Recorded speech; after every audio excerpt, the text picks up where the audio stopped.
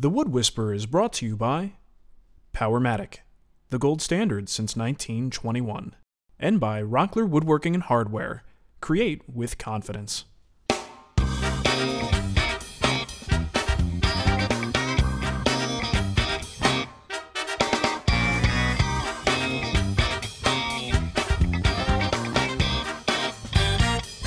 Let's move on to the cross members. Both cross members can be cut from a single board.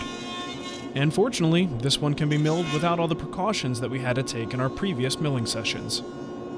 I joint the face and one edge, and then rip the board at the table saw.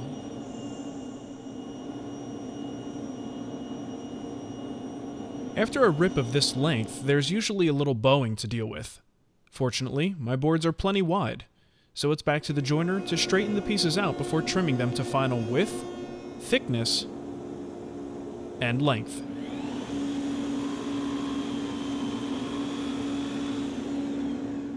So now I've got my cross members milled up and ready to go.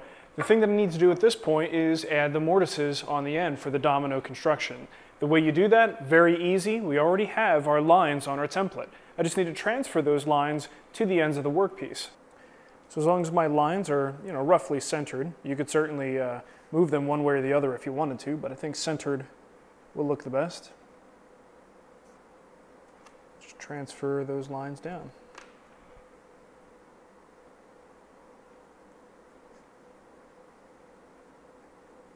So now I just want to extend those lines.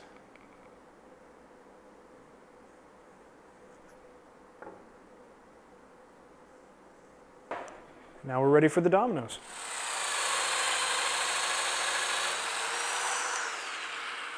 Now my next step is to add a nice heavy round over to each one of the edges and that'll sort of give it just more of a sculpted, smooth look that goes with the rest of the piece.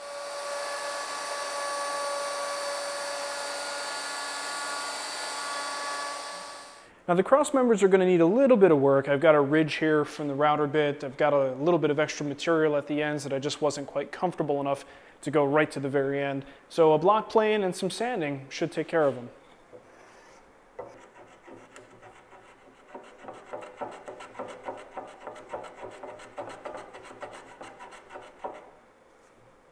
Now this is not a huge deal, but I did want to show it to you. There's a, a little trace of a knot there and I want to make sure that I fill that. I'll probably have this part facing the bottom so you never really see it, but still, I like to fill it if I can. And I'll just get a little bit of CA glue.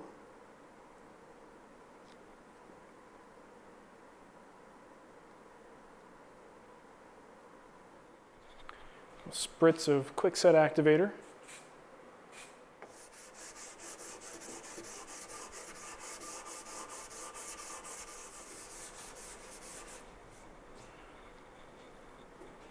You go.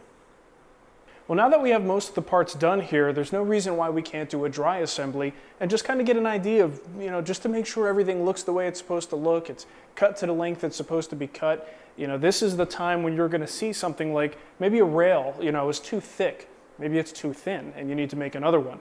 Um, the curves in my legs still need work. I already knew that, but it's something that becomes a little bit more painfully obvious at this stage when I take a look at it in this form. But for the most part, I gotta say I'm pretty happy with the proportions. I like where my rails are, and I think we're just gonna proceed at this point. So I'm gonna disassemble everything. I'm gonna take these legs back to the bench, you know, sit in my stool, throw on some music, relax a little bit, and just uh, sand the rest of the day away because it's, you really want to take your time with it. You don't want to rush that part of the process, and you'll be rewarded with a much more fluid, smooth look when it's all said and done. So this leg here is pretty much got all the sanding it's going to get at this point, and you could really see what I'm going for is just absolute smooth transitions. All those roundovers, you know, for most of our work, that's usually enough. If we're looking for a good rounded over look, just hit it with a little bit of sandpaper and you're done. This is a little bit different. We don't want to see any transition at all from the, uh, what was it, like a three quarter or one inch roundover to the flat surface. We want to make sure that it's absolutely smooth and soft all the way through. So what I usually wind up doing, I'll hit the flat surfaces with my random orbit sander, but at this point, I don't usually go beyond that. The random orbit sander, especially on these tight curves, can create a lot of divots and things. So resist the urge to do that. You got to do it the slow way. Go by hand, uh, fold over a sheet of 180 grit sandpaper, and you're just going to go through and hit all of those edges. Smooth it out. Then what I recommend doing is, you know, once you're at the point that you think you're done, turn it around. Look at it from various different directions. Look at it under different lights. A lot of times, the way the shadow is cast will reveal problems. So if you're in a particular spot and you don't move, you'll only see that one particular shadow line. So it's really important to take this, maybe even take it in the house and look at it under a different lighting and see if you could figure out what ways will make it look that much better. But like I said, I'm at, pretty much at the point that I think I'm good with this. Now, I do want to mention one thing. Um, you've got an issue here where we have long vertical grain and then horizontal grain. It's a cross grain situation. That can bring up some problems with sanding, right? Because as you're sanding the vertical piece, it's only natural that you're going to wind up hitting that horizontal piece, and we do need this transition to be perfectly smooth. And let me show you up close how I handle that. So I usually start by sanding this vertical piece.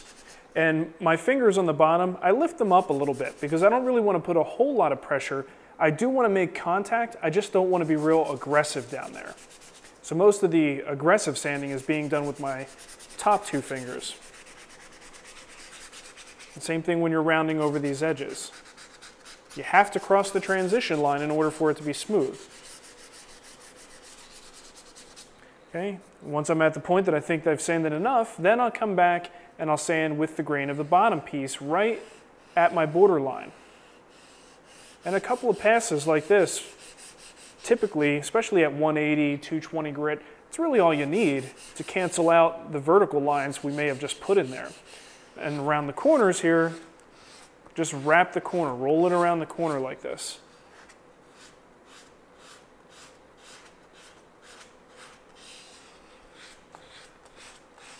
And that should do the trick.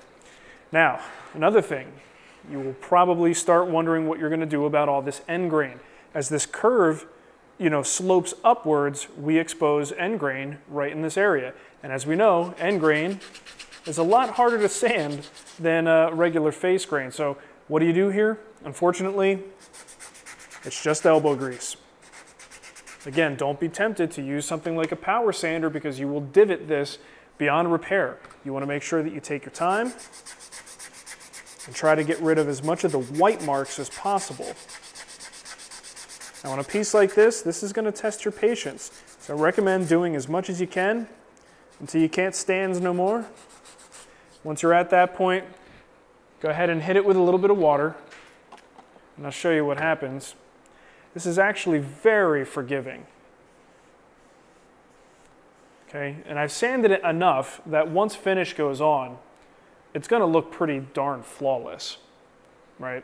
So I wouldn't worry about it too much. You definitely want to have it sanded consistently and any major scratches need to be removed. But if it's not absolutely dead on 100% perfect, it probably isn't going to matter all that much, as you can see. And just test it with water. A little bit of water won't hurt anything. Raise the grain a little bit, but it'll show you if you have any problem areas.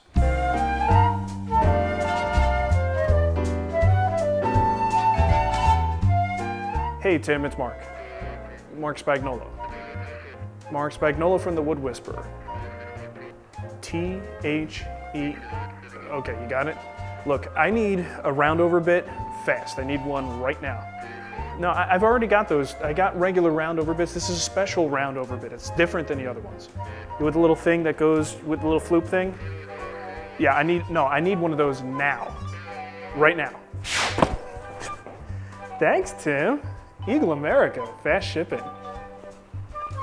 So what I ordered was a tabletop edge bit. The idea is it's sort of an extended thumbnail profile where it's not so uh, sharp of a downturn. Here's a regular roundover bit of a comparable size and you can see how dramatically different that curvature is between these two bits. So to me, this is much more pleasing for a really thick tabletop. This starts to look a little, I don't know, commercial to me if it's got a big old bullnose round over like this. Something like this is a little bit more elegant. It kind of uh, thins out the top a little bit without going too far and gives you a nice soft curve that you could put your wrists up against, which is perfect for a desk.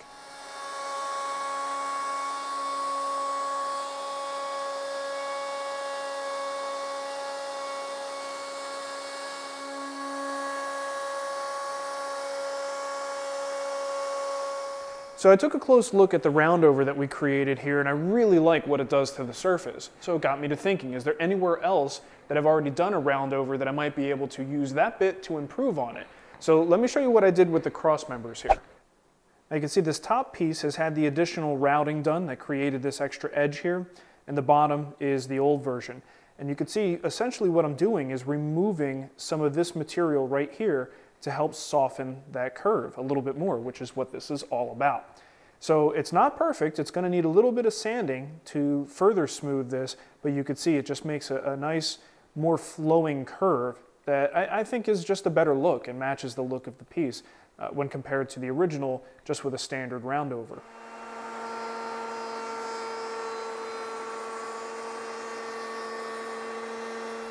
Now, although I'm not too worried about cable management and things like that with this particular project, I do want to make sure that the cords and things that have to go back down uh, from the top of the table down to the PC will have a place to go because I really do want this thing to be right up against the wall. So I need to have some uh, areas in the back of the table that will allow those cords to go through.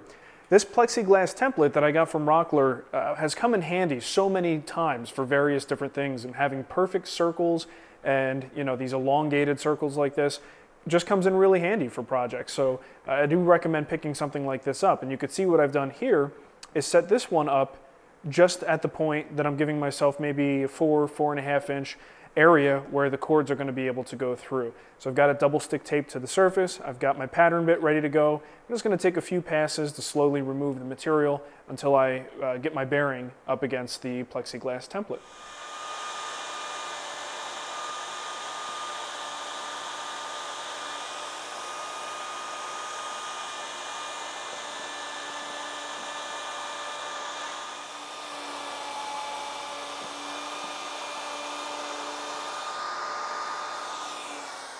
Now I'm going to start thinking about how we're going to attach the top to our leg assemblies here. Now because this is a big fat solid top, it's going to move over the course of the seasons. In Arizona, I don't really have that much movement to be concerned about, but there still is some.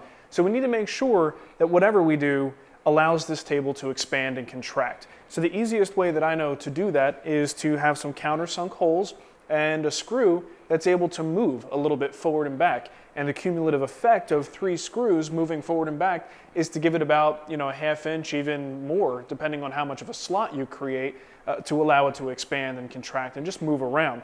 So let me show you how I make it. Most of the work is going to be done in the top of the leg assembly here. So just going to use a countersink bit to put two holes here in the long part of the uh, top assembly.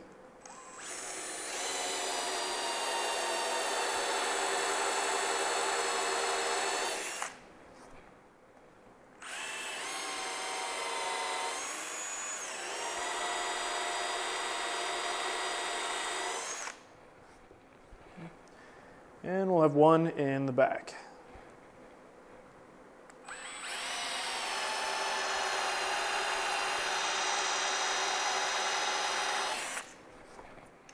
Now this bit is going to allow me to punch all the way through. And it's sized so it's a little bit bigger than my screw. Now once I know I'm all the way through, uh, and mind you, this is a quick and dirty way of doing it, but it does work just fine. I'm going to sort of angle my bit back and forth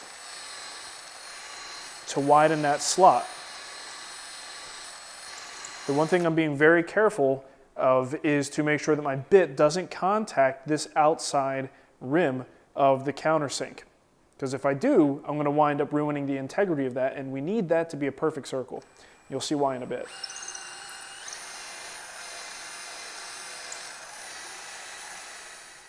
Now with the piece flipped over, I'm essentially going to do the same thing from the top end. Just being careful not to go too far. You can see I'm creating an elongated slot.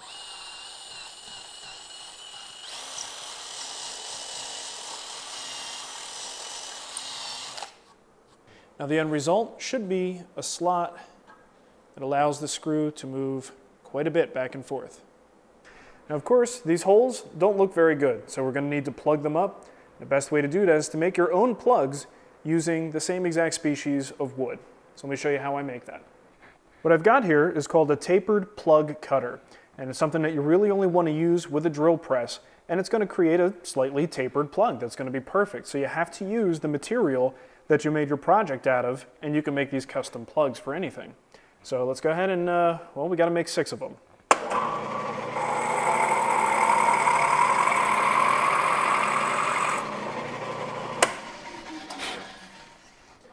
I've got this guy clamped in place here, so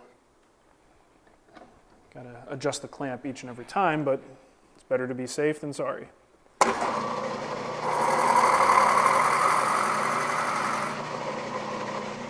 Now a quick cut at the bandsaw will release the plugs.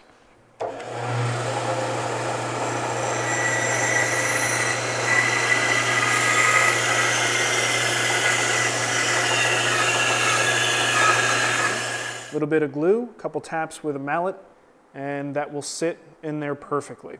Just make sure you align the grain, you should be fine. Now before I start to do any sort of assembly on this piece, I want to make sure that I get some finish on this surface. And this way I could screw it to the top, flip everything over, and start doing the final processing of the whole piece and keep these legs attached. Okay, the bottom already has finish, so why not have this surface with a couple coats of finish on it? So nothing tricky, doesn't have to be super neat. Just want to make sure it's nice and sealed up. Now before we attach the legs to the top, we need to connect the cross members and glue them in place. We've got all of our dominoes here ready to go. I've got some epoxy, which is my glue of choice on this project, and it gives me a lot of working time. Just gonna take some of this epoxy and carefully put it into the mortises. I don't wanna be too messy here because this will get epoxy on the leg and it's gonna be visible later. So I wanna be a little bit careful about how I apply it. You want a good wet coat inside of those mortises.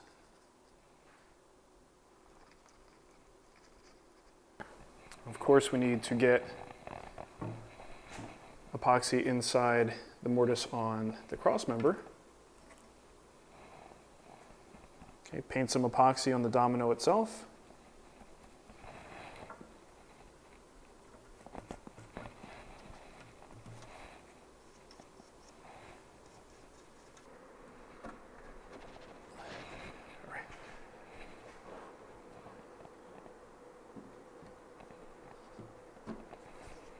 Okay, now push against that side for me. Just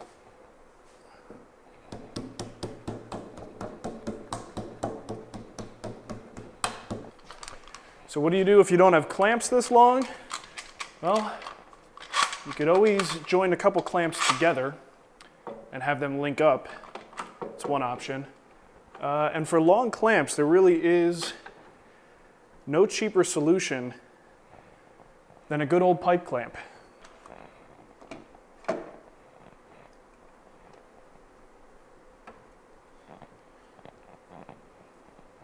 Okay, it's looking pretty good. So let that dry for a few hours. Now while the base glue up is drying, it's a good time to attach it to the tabletop. Everything is here, why not? So I gotta start by pre-drilling a little bit of a pilot hole for the screw. Now I've just added a clamp here to hold everything in place for me. I don't have to worry about it moving around. A little bit of uh, lubrication for our screw here.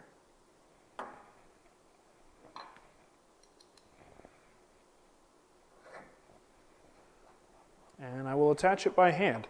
I like doing this by hand when I go into a solid wood top because it just gives me a, a feel for if I'm going into, you know, a dangerous area that could crack the top. If you use something with power, you tend to lose control a little bit easier and you might go too far and you could crack it. By hand, at least you know when things are really starting to tighten up. Now we can plug these guys up. So I've got my plugs ready to go. Just need a little bit of glue in the hole there. Some glue on the plug itself. And tap it as far as it'll go.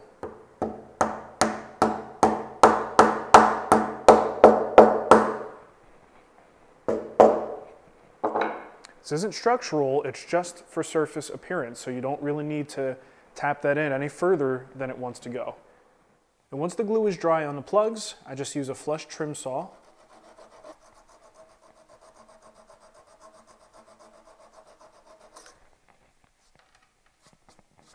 Just a little bit of sanding to clean it up.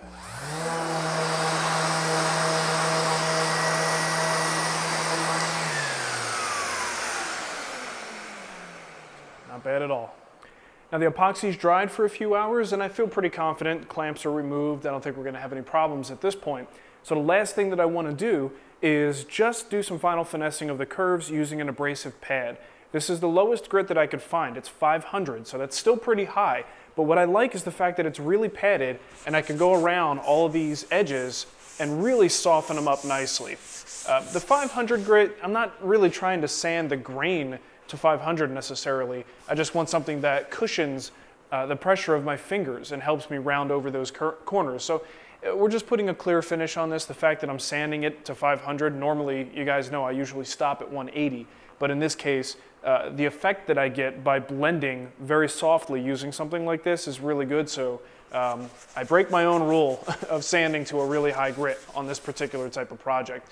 So I've already done that. I've gone through, looked at all the critical parts that I thought needed a little bit of touch up.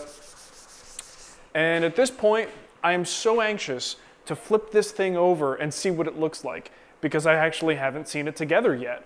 Uh, but the problem is, when am I going to have another opportunity well, first of all, it takes a lot of effort to get Nicole in here to help me flip this.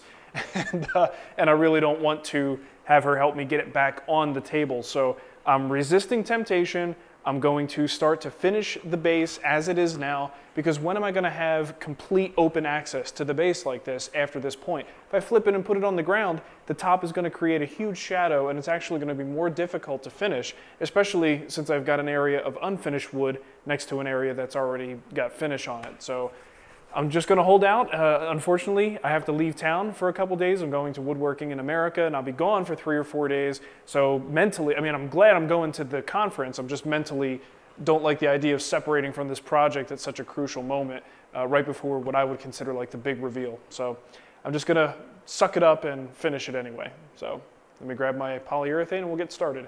Now, basically, this is my standard wiping varnish procedure. If you don't already know about it, I do have a DVD on this topic called A Simple Varnish Finish. And the idea is to just give you every possible detail you could need to successfully create a good varnish finish every single time using the wiping method. Seems like it should be simple and straightforward, and in some regards it is, but there are details that you need to know to be successful at this.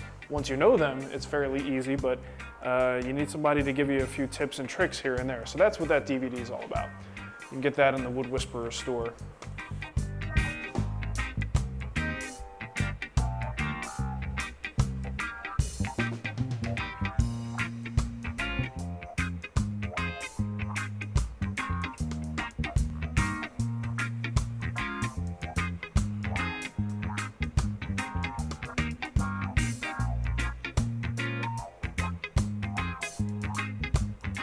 Side, it's be a little bit messy, but just gotta get the finish on there and do what you gotta do.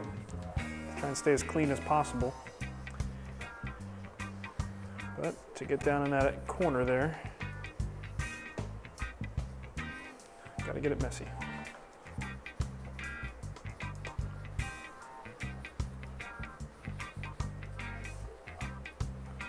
Come back with the clean cloth.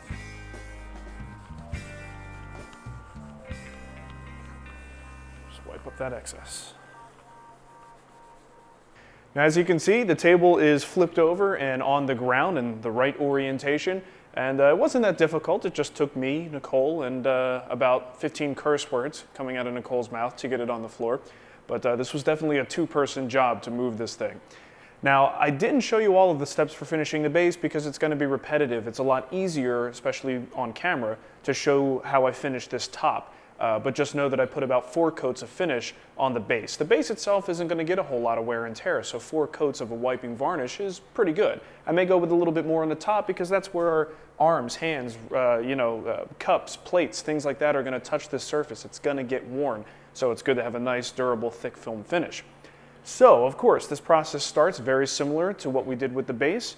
I'm going to start sanding with 80 grit. I like to mark it up with my pencil and we'll progress from 80 to 120 and finally to 180 and we can start applying our finish.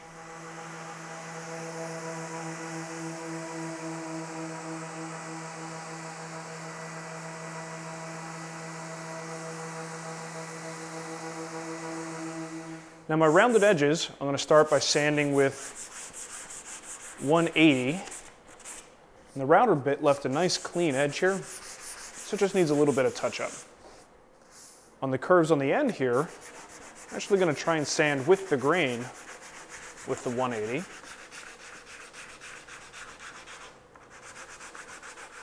And because the end grain likes to darken up when it absorbs finish, I'm gonna hit it with the 220 as well. Sanding to a finer grit will sort of help even out that absorption, at least to some extent. Now with well over 100 videos here at the Wood Whisperer, I sometimes take it for granted that some of these uh, you know, basic safety things have been covered and I assume that you've seen some of the earlier episodes where we've covered things like dust collection safety. Sanding a tabletop like this is going to take some time. Even though I'm using a really high quality dust extraction system with my sander, I'm still going to protect myself. I'm going to use a 3M respirator. This is, I believe it's a 3M 7500. I've got it outfitted with uh, some nice lightweight filters here. These little, I mean, they're goofy looking because they're pink, but you know, since when have I uh, been afraid of looking goofy? It's the 3M 7500. In fact, mine is the large size, 7503, because I've got a big mouth. The thing that I like about this is it seals really well right around your face, as opposed to some of the standard like uh, construction dust masks that you've seen folks wear. They make better ones than the cheap, you know, the ones that start to irritate your face really quickly. They do have higher quality level ones, but they're nothing like a good quality respirator. And I'm out here almost every day for hours at a time. I want to be doing this thing when I'm an old man and just, you know, crawling in here with my coffee at 80 years old uh, I want to still be doing this stuff and be able to breathe at that time. So with that much exposure, it's not overkill as far as I'm concerned to wear this every day. You watch my live shop cam on the website, any given time you watch it, most likely I'm going to be wearing this, you know, goofy pink respirator. So, um, so I do recommend you have a good dust extraction system. And even though you have that, it doesn't mean that everything is completely safe. It's still going to let some dust into the air, and there's lots of dust on all these tools. So every time I move around and I shift the air in the room, I kick some of that dust into the air, so it's always a good idea to protect yourself. Now let's talk about the finish for the tabletop and some of the things you may need to be concerned with. First is the pore structure. Mahogany has open pores, so depending on the final look that you want for your piece, you may or may not have to do a pore fill. Now for me personally, this isn't the type of project that I would really worry about that with. I'm not going with a really high gloss surface, which is one case where you would want to do a pore fill. Uh, when you're doing high gloss, any interruption in the surface's sort of continuity will ruin the look. So a high gloss surface on an open pored wood looks very weird. So if you've ever seen it, you know what I'm talking about, but you could see those little pits in the surface and it just looks odd. So that would be one case. Um, you know, the other thing is if you are just trying to build a thick film finish and you know this is um, a surface that's gonna get cleaned a lot, let's say.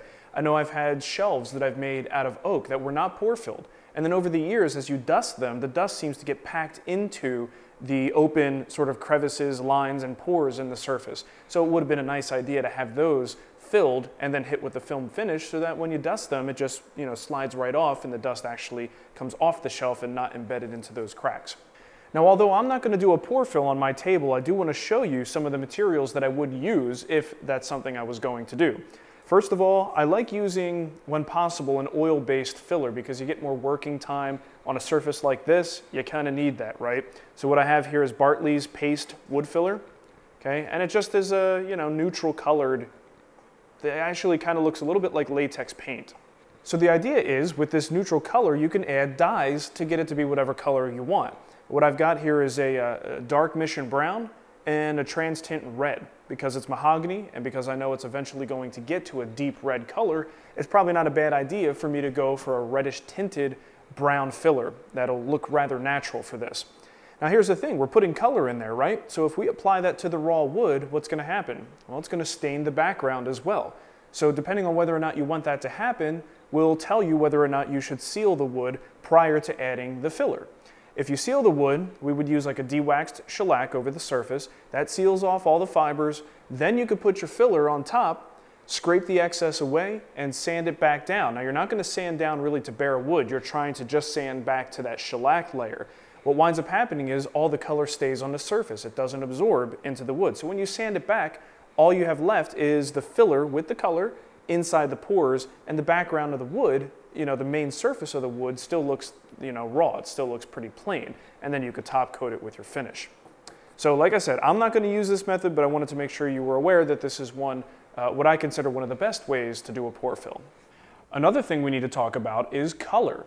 Now, if you tell someone you're building them a mahogany table, the average person is going to expect a table that is a dark, deep, reddish burgundy color, right? It's just what we know of as uh, mahogany furniture. Well, the thing is, raw mahogany, freshly finished mahogany, looks like this. It's like a salmony, you know, light brown color and nothing like what someone might expect. So if you're doing this for someone else, you may have no choice but to use a dye or a stain and accelerate the color change and bring it to that dark, beautiful red burgundy color.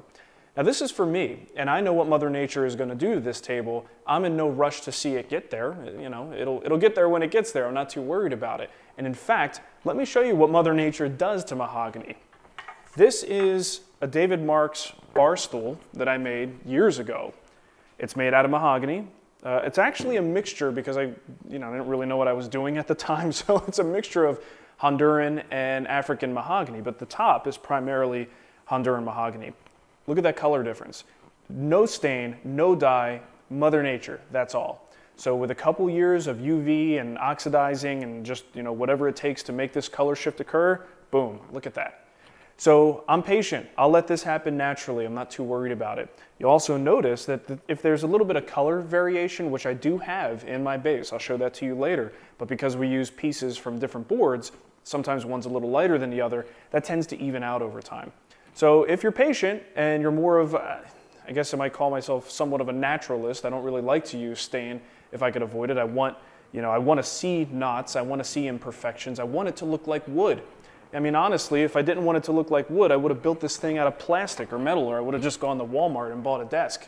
Uh, I'm making it out of wood. I want it to look like wood, and I want to celebrate the beauty that nature provides us with, and part of that beauty is imperfections. So you'll notice I do have some stuff on the surface that someone else might avoid. Personal preference is what it comes down to. Now the finish strategy I'm going to use here is going to be very similar to what I cover in my DVD, a simple varnish finish. But I am going to do something a little bit different at the beginning, and you can do this on just about any project. The first coat of finish that you apply to the surface is your sealer coat, whatever it is, whether it's varnish, lacquer, shellac, anything, that first coat is what you would consider your sealer. So if I use an oil finish as that first sealer coat, I still have to wait, you know, four to six hours for that coat to dry before I can add another coat to it. Well, what if I could use something as a sealer coat that dries very quickly? So dewaxed shellac is perfect for that. It'll dry within an hour, and then I'm on to my second coat of finish, which would be, you know, I'd switch to varnish at that point, and basically I cut about six hours out of my finishing schedule. So what I have here is a one pound cut of dewaxed shellac. I'm just gonna brush it onto the surface. The wood is really thirsty at this point, so it's gonna suck it right in, and then within about an hour, it'll be dry, and I could lightly sand and start using my varnish on the surface. So let's go ahead and start applying the shellac. Now I normally apply shellac with a rag, just for simplicity, but uh, in this case I've got a lot of real estate to cover here, and I find that a brush just allows me to move a little bit faster and cleaner as well.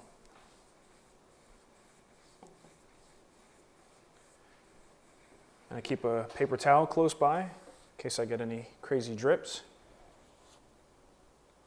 With a one pound cut, it's pretty thin, so drips are going to happen.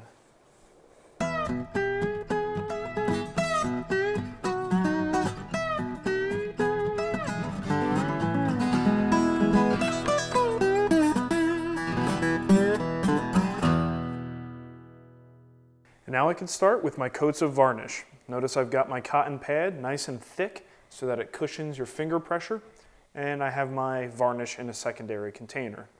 Normally I like a, a, bit of a wider container than this so I don't have to bend my pad to soak up the material, but that's all I have right now.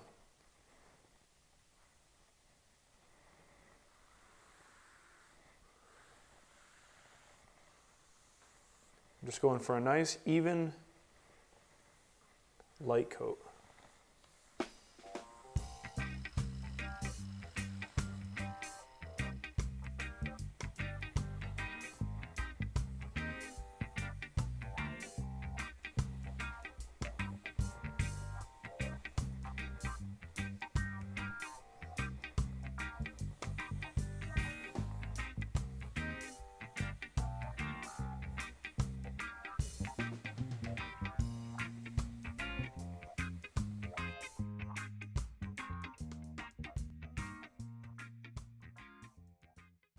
That first varnish coat is completely dry and you should feel some uh, bumps and you know sort of grit in the surface. Perfectly normal, it's just the way things go.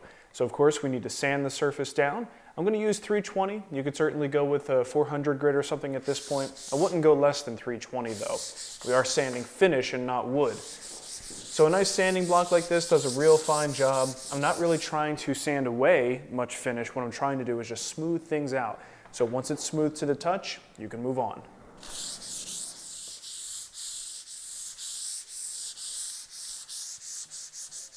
Now to get rid of all the dust that we put on the surface, I'm going to use a dampened rag. And it's really only dampened with water. Uh, you can use mineral spirits for something like this, but I just don't think it's necessary. And if I can avoid using a chemical, uh, why not? So water and a paper towel works just fine. And just keep using a different part of the paper towel so you don't continue to spread this paste that you're going to create once the, uh, the dust gets hit with a little bit of liquid. And this rag, by the way, is damp. It's not soaked. I'm not leaving a lot of uh, moisture on the surface. It's just a dampened rag. And as a bit of a precautionary measure, I'm going to use a standard paint filter here and filter some of my finish. It's just the satin Arm-R-Seal.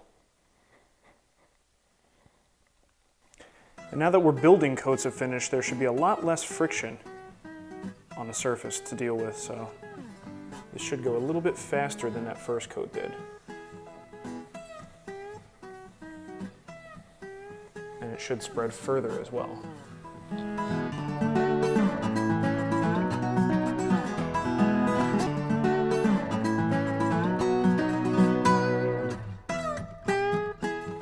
A lot of instructions, especially you know on this wiping varnish, will recommend that you put a coat on, you know, flood it on and wipe off the excess. That's so wasteful. And the reason I developed this method of just kind of wiping on and leaving it on is because you build a finish faster, almost like brushing. But instead of brushing, you're actually using the rag as a nice flat and smooth applicator pad. So I also find that you can end up with a lot of streaks if you wind up uh, wiping too much material off because you tend to have areas where it's a little heavier than others and it gets streaky. And one way to fix the streaks is to apply more finish to the surface. So why not just apply a good amount of finish, build your coats faster, and be done sooner. It's a heck of a lot less wasteful.